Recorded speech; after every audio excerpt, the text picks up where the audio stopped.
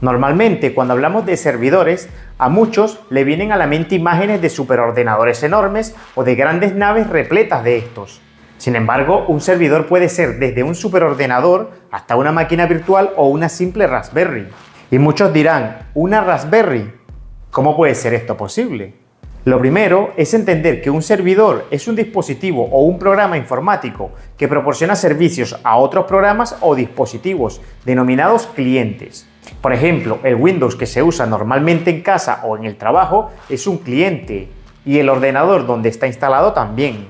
Pero además de este, existen versiones de Windows Server, lo que convierte al ordenador donde está instalado en un servidor. Aunque como todo, estos sistemas también tienen sus requerimientos. No es que ahora vais a coger una Raspberry, vais a instalar Windows Server y poneros un server de Outlook en este. Bienvenidos a Tux Universe. Hoy hablaremos de tres distros ideales para servidores caseros. Pero antes, no olvides darle like al vídeo, compartirlo sin miedo y suscribirte al canal. Cuando hablamos de distribuciones GNU Linux, para servidores de hogar, pymes o incluso empresas que se quieran ahorrar el gasto de una licencia, seguramente que la primera distro que nos viene a la mente es CentOS, la cual por mucho tiempo fue sin duda una de las favoritas para este tipo de entornos, por su robustez y similitud a Red Hat, distro en la cual se basa, pero está dejado de tener mantenimiento oficial este año, la cual la deja fuera de las opciones. Por mi parte, una de las distribuciones que más he utilizado para este tipo de equipos es Cential, una distribución que se basa en Ubuntu y es de origen español, la cual tiene funciones muy similares a las que ofrece Windows Server y que además es compatible con los servicios que Windows Server ofrece, como la Active Directory o el servidor de correo Outlook, pero creo que estaba muy enfocada a lo que sería la gestión de la red de una empresa. Cuando hablamos de un server para el hogar o pyme, existen distros que son excelentes tanto para estos como para empresas. Por robustez, estabilidad y facilidad de uso, Creo que Ubuntu Server, Debian y OpenSUSE Lib están entre las primeras y por mi preferencia serán las tres en las cuales enfocaré este vídeo, lo que no quiere decir que sean las mejores distribuciones o las únicas. Tengamos en cuenta que en un servidor lo más importante es que el sistema sea lo más liviano posible y que los recursos del equipo donde lo instalemos vayan dedicados al servicio que se desea ofrecer y no al sistema que se ejecuta en este por lo que muchos o la mayoría de los servidores GNU Linux son instalados y configurados sin interfaz gráfica, aunque esto no tiene por qué ser la norma. Pero la pregunta ahora que muchos se harán es, ¿para qué quiero un servidor en casa? Yo personalmente tengo varios servidores en máquinas virtuales, como un servidor web o HTML desde el cual realizo pruebas de desarrollos, un servidor de base de datos e incluso un servidor cloud privado, todos para pruebas. Sin embargo, podemos hacer más cosas, como un servidor de almacenamiento de archivos o de copias de seguridad, servidores multimedia, servidores de web y desarrollo, servidor de domótica, servidor de VPN o incluso un servidor de control parental. Algo muy importante que debo señalar es que aunque todo lo que muestro en el canal siempre intento que sea lo más fácil o sencillo, sobre todo para usuarios nuevos o personas que quieren un equipo o sistema funcional y sin complicaciones, los servidores por su naturaleza siempre tendrán su grado de dificultad más alto, ya que muchas cosas las tendremos que configurar de forma manual. Incluso tendremos que entender qué queremos y cómo configurarlo. Es posible que muchas cosas las tengamos que instalar desde la terminal o incluso debamos compilarlas. Todo esto depende del tipo de servicio y herramientas que deseemos instalar y configurar. Hablemos de las distros y comencemos por la siempre presente Ubuntu. Esta es una distro muy utilizada, no solo en equipos de clientes o estaciones de trabajo, sino también en servidores. Al ser una distro desarrollada por una empresa, da muchas seguridades, sobre todo en cuanto al soporte y continuidad del desarrollo.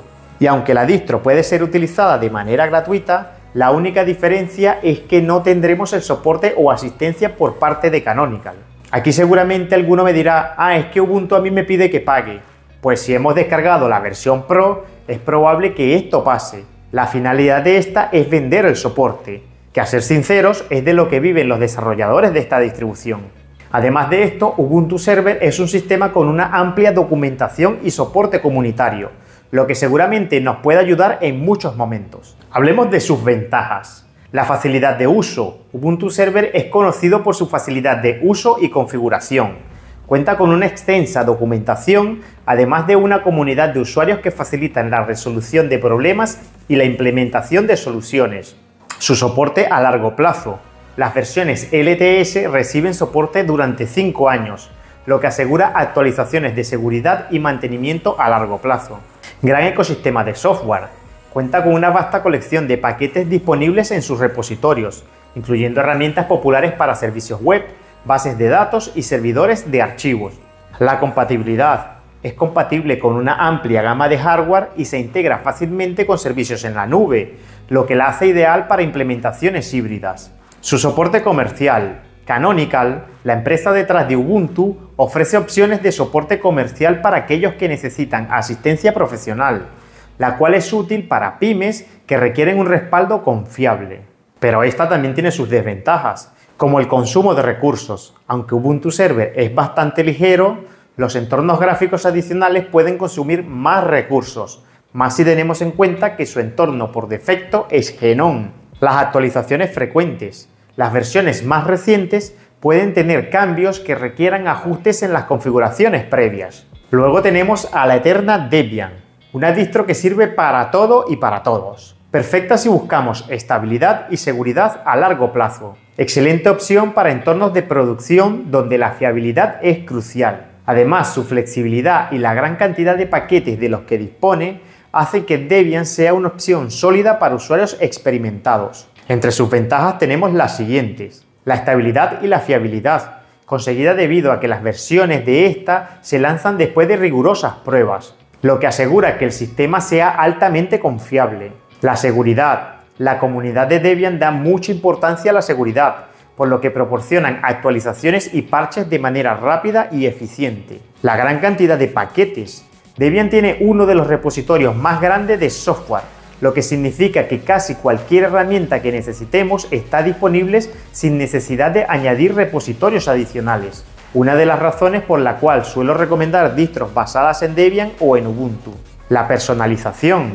Ofrece una gran flexibilidad y personalización, permitiendo la configuración exactamente según nuestras necesidades. El soporte de larga duración, aunque no tiene versiones LTS como Ubuntu, Debian ofrece soporte prolongado para sus versiones estables, asegurando un entorno de servidor confiable a largo plazo. Pero como todo, esta también tiene desventajas.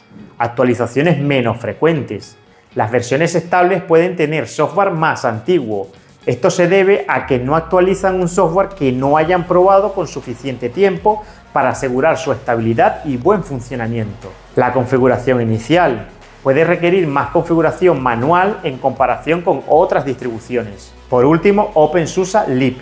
Como ya sabéis, OpenSUSE es mi distro favorita, pero nunca la había metido en ninguno de los vídeos de distros que recomiendo.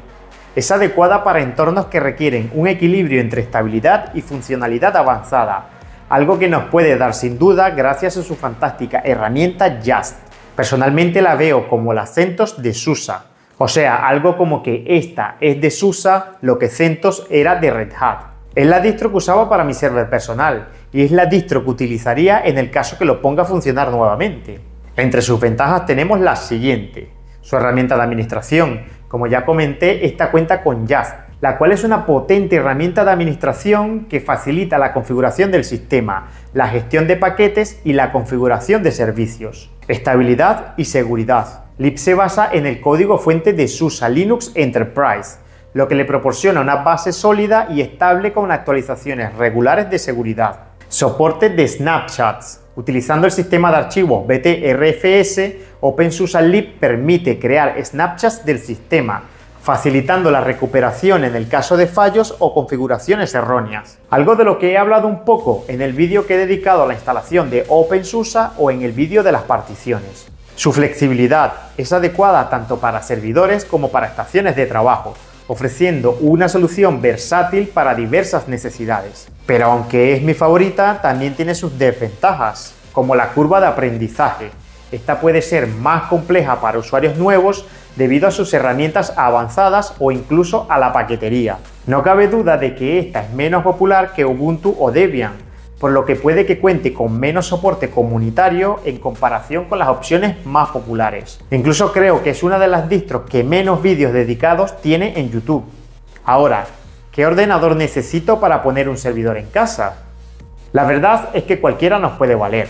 Algún ordenador antiguo que tengamos de seguro nos vendrá muy bien. Aunque si os interesa saber más sobre esto, os dejo un link de un vídeo de AKL donde habla y explica muy bien este tema. Entonces, si lo quieres con Windows, Copcase código AK enlace en la descripción. Y si no lo quieres con Windows, no pasa nada. Busca el sistema operativo que más te convenga, olvida este anuncio y continuamos. Y ya está, ningún problema. Y aunque no recomienda ninguna distro, estoy casi seguro que él elegiría Debian. Espero que el vídeo os haya gustado. De ser así, no olvidéis darle like, compartirlo sin miedo y suscribiros al canal. Por mi parte me despido y nos vemos en el próximo vídeo.